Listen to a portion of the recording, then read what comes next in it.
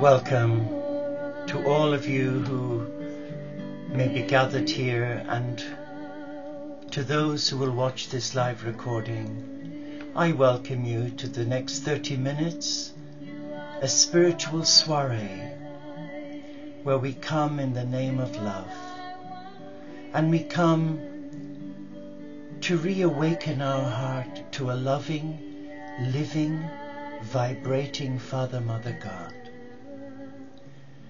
But first, let us enjoy the beautiful music from Shannon as she sings, You Can Relax Now.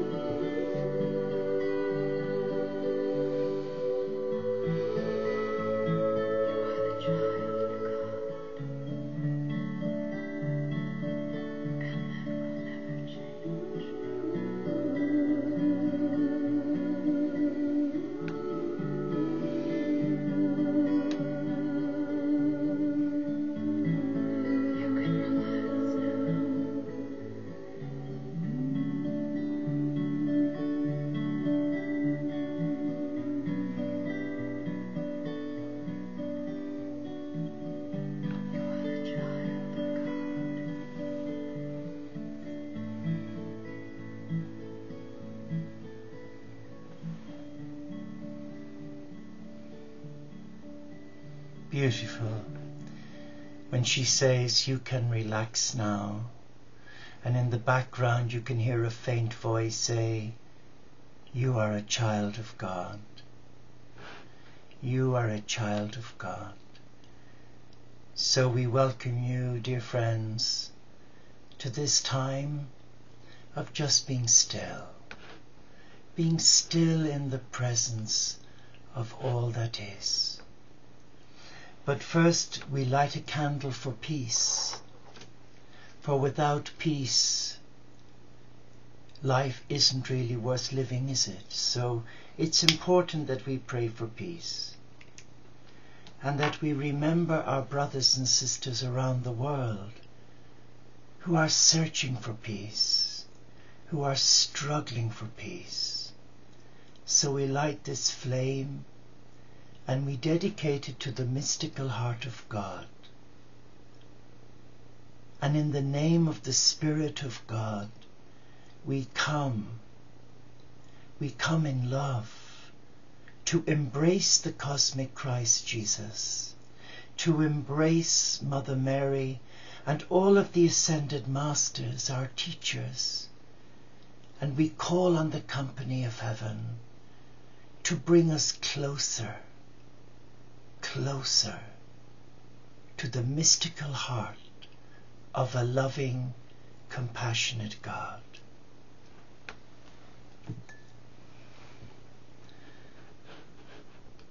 And in that stillness, we give thanks.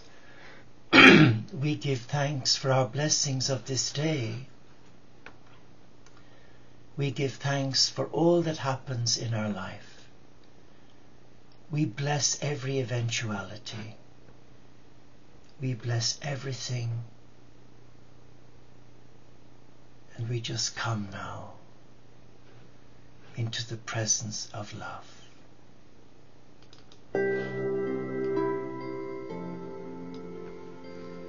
Let us relax and experience the gentleness of a loving God a loving Earth Mother who care deeply for their children. Let us switch off the mind and let us come and reawaken our heart, our teacher, to what the voice of the Master is saying to us. And we do that by taking a nice, deep non-labored in-breath And now we release whatever ails us or is aching within us, and we give it to our beloved Earth Mother Gaia. And as we breathe in again, let us sense the peace of God. And in our out breath, let us welcome that peace. For that peace is so important for us. For without peace, there is chaos.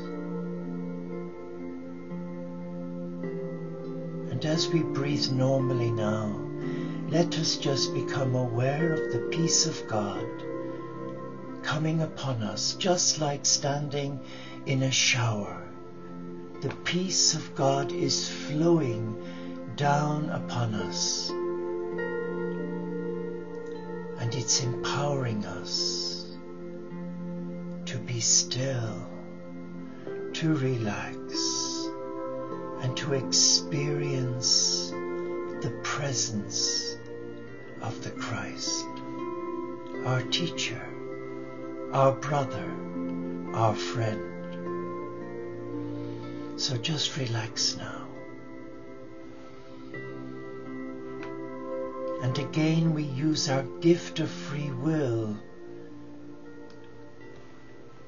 and we invite, we invoke, and we ask the company of heaven, the messengers of God, to prepare this session and to allow us here in our heart to hear and sense the word of the Christ. But first, I want to share with you two quotes from His Holiness the Dalai Lama from a wonderful little book. The Little Book of Wisdom. It was a Christmas present and it's so beautiful. His Holiness says, the external world reflects our inner realities. The well-being of society depends upon the internal attitude of the people who compose it. Let's read that again. The well-being of society depends upon the internal attitude of the people who compose it.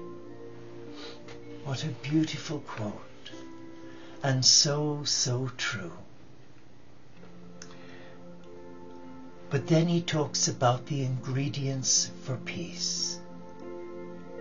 Through kindness, through mutual understanding, and through mutual respect, we will get peace. We will get happiness, and we will get genuine satisfaction. Through kindness, through mutual understanding, and through mutual respect, we will get peace. We will get happiness. And we will get genuine satisfaction. And that really sums it up, doesn't it? About sharing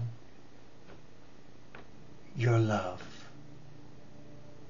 about sharing who you are, about coming into the presence of God and knowing that nothing can alienate us, segregate or separate us because we are part of the divine oneness. So let us come, let us be still. And let us embrace that peace.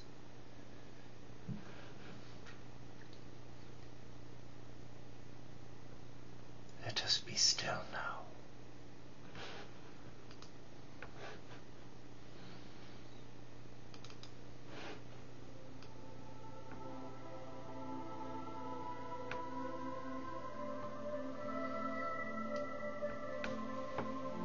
As we sit here quietly in our sanctuary,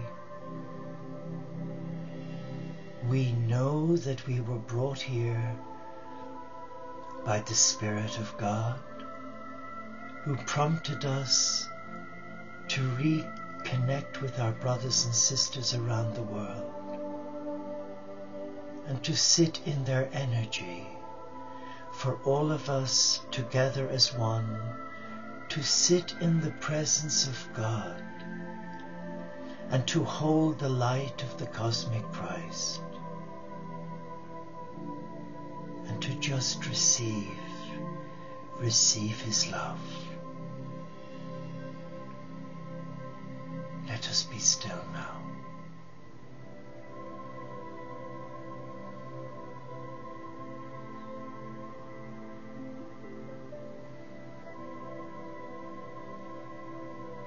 Getting in my heart a strong sensation to share these words. And I'm going to honor what my heart is given. I am the way. There is no other way. I am your truth. There can be no other truth. And I am love.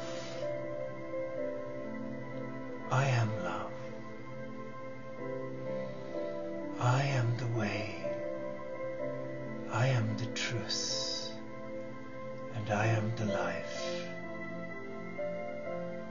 I am the light of the world, and I come and I touch you now, and I fill you with the peace of God. But are you receptive to that peace? Are you receptive to my love? Or are you still chasing dreams when the dream is within you? The dream has become a reality when you've surrendered your heart to my love. For I am your love, and you are my love. Come, take up your cross. Take up the struggles that overwhelm you and bring them to me.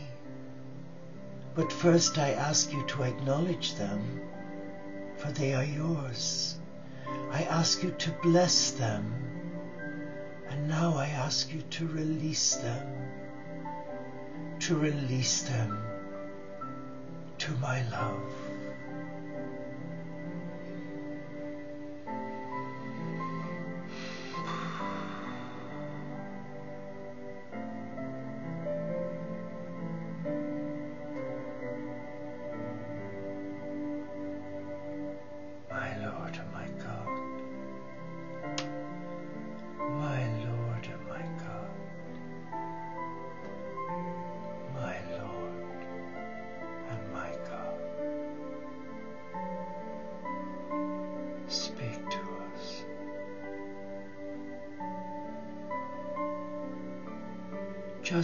Reflect on those words that I shared with you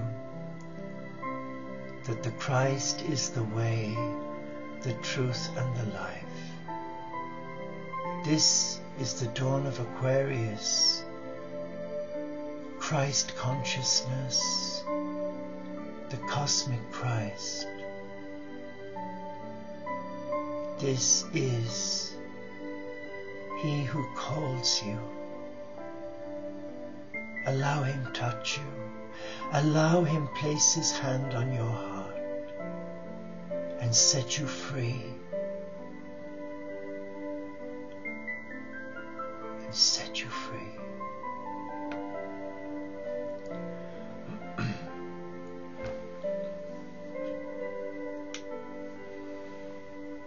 Be still now. And I'm guided to read for our reflection this evening, concluding with the meditation. At this moment, I've no idea what the meditation will be because my heart is open, but I want to share this with you.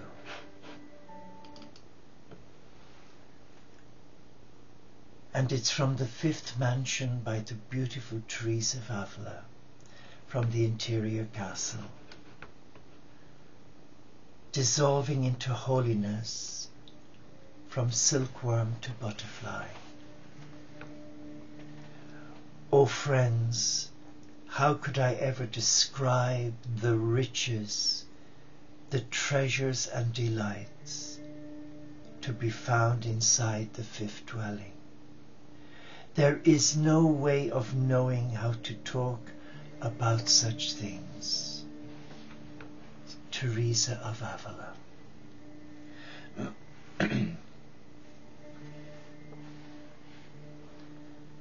In the Hindu tradition, the greatest mystical poet of South India, Maniki Kavakakar, went to live in a temple after a lifetime of serving Shiva through poetry. There he was rewarded by a blinding illumination of divine light, into which he is said to have merged and then vanished. Ignatius of Loyola had a profound conversion experience in which his senses, his will, and all the ambitions that he had held for himself as a young man dissolved into spiritual pursuits. Before his conversion, he was a soldier with dreams of accomplishing fame and glory through war and had to be saved twice by interventions of the Blessed Mother. But he was greatly injured, gravely injured in battle, and almost died. During his long recovery, Ignatius passed the time by reading and also in erotic fantasies of a noble woman whose company he desired but could not attain. Although he'd asked for romances and dramatic stories, all that was available in the house where he was confined were the books on the life of Christ and the saints. He discovered that his erotic fantasies left him completely dissatisfied, while his spiritual thoughts brought him peace. The readings awakened his brilliance for what would become his trademark for spiritual discernment. And he was told in prayer that he was to serve God and bring back an ancient order and practice of devotion. In this pursuit, in his spiritual exercises, Ignatius dissolved fully into the union of his soul with the divine. Dissolving into holiness means to merge without boundaries into divine consciousness. Teresa described this transformation from body to soul as turning from a silkworm into a butterfly. This can happen within the context of your contemporary life as the soul becomes on fire and dissolves much of the ego's familiar landscape. This final release of the ego's hold on you is like a silkworm breaking out of its confining cocoon and lifting into flight as a beautiful butterfly. Isn't that beautiful? This mystical experience is enabled and encompassed by a state of consciousness that Teresa calls the prayer of union, which she compares to the sacrament of marriage. In this mansion, you assume a conscious relationship with timelessness. You no longer doubt your mystical experiences and dialogue with the divine. You now know the interior of your soul and your way around the castle. You know your way to God. How beautiful is that? You know your way to God. The castle is no longer an exercise of the mind and imagination It is part of you. Let us reflect now.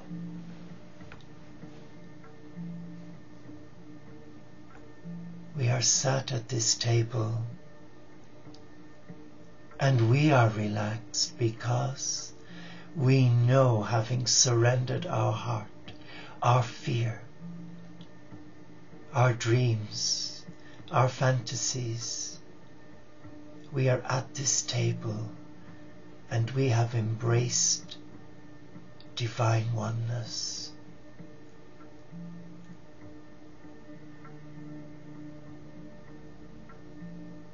And in the very center of this table, there is a candle burning, and we're guided to watch the flame.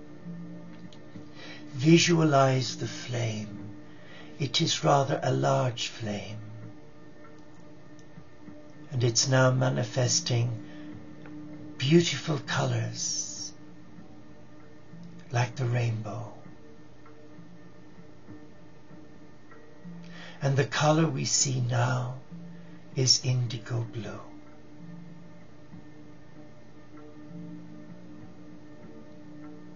And from this color, we sense a presence appearing.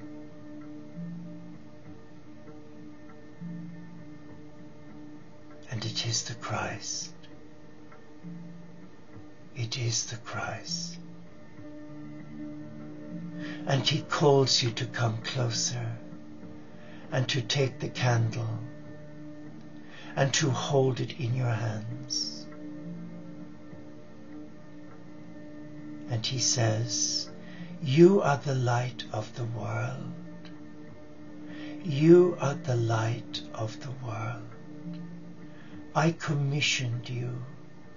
I anointed you. And though many have been anointed and commissioned, you have stayed. You have not run away. Many have run away, like the rich young man who found it difficult to give away his possessions and come follow me. But you are here because you have found me and I have found you. And I want you to hold this light as my light. I want you to become an extension of my love for you. I want you to be my hands and my feet. And I want the flame to represent my love for you and your love for me to shine ever so brightly. Be still and know that God is love.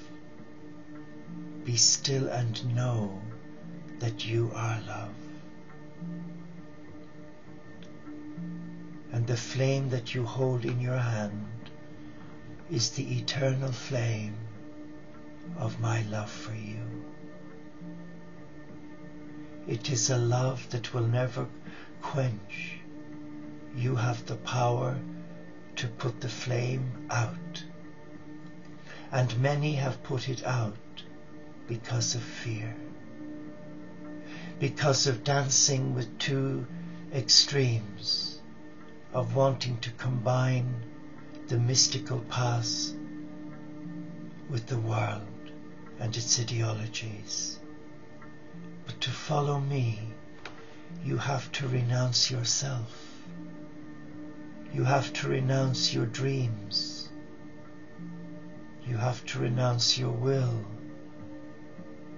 and surrender to love.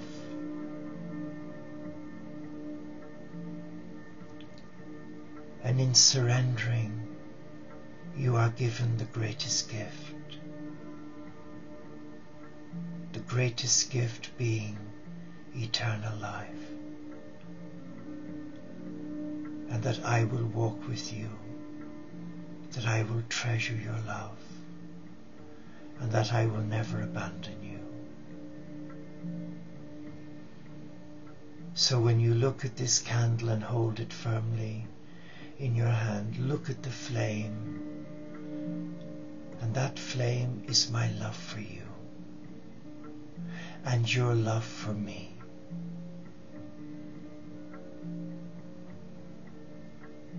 Embrace the flame and allow it cleanse you of all fear and doubt allow your heart come closer to my love. Come closer to my love. And this is what I share with you for this new day the 26th of January. Give up the illusion that you deserve a problem free life. Part of you is still hungering for the resolution of all difficulties. This is a false hope. As I told my disciples, in the world you will have trouble. Link your hope not to the problem solving in this life, but to the promise of an eternity of problem free life in heaven. Instead of seeking perfection in this fallen world, pour your energy into seeking me, the perfect one. It is possible to enjoy me and glorify me in the midst of adverse circumstances. In fact, my light shines most brightly through believers who trust me, who trust me in the dark. That kind of trust is supernatural, a production of my indwelling spirit within you. When things seem all wrong, trust me anyway. I am much less interested in right circumstances than in right responses to whatever comes your way. And we give thanks to the cosmic Christ for speaking to our hearts. Now we reflect. We embrace. And in the stillness of this moment, the cosmic Christ performs a sacred symbol on our third eye. And that symbol is known only to you and me. It is the sacred symbol of the ictus, the fish.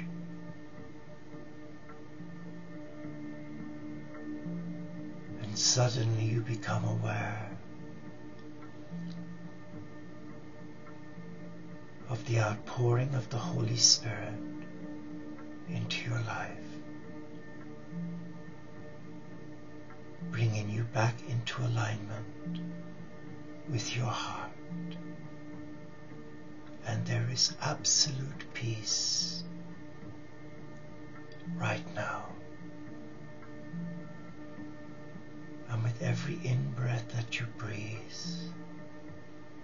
you sense a shift of consciousness coming back to your child within, where there is love, where there is acceptance, and where there is joy.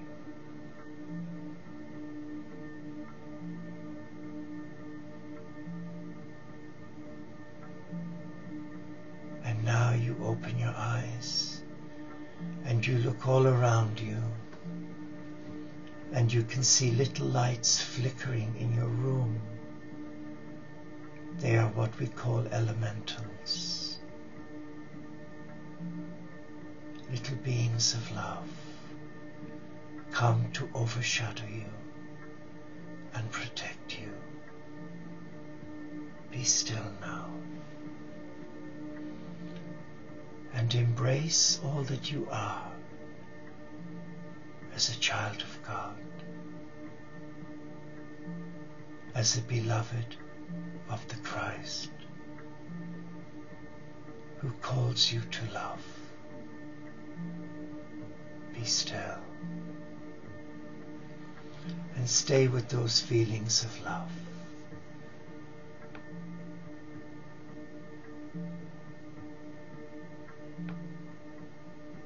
Namaste. Thank you for joining me. Thank you for allowing me into your space.